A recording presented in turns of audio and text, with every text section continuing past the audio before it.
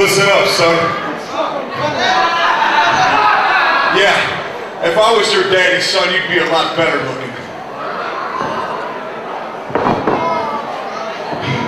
You must snuck it out by this much tonight.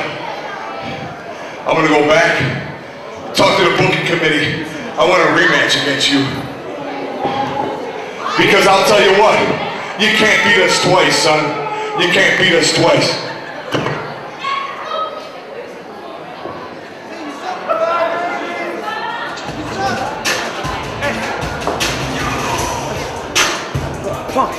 Punk. Come on.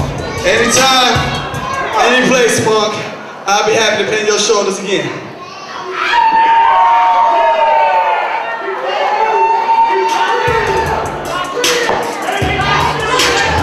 And take the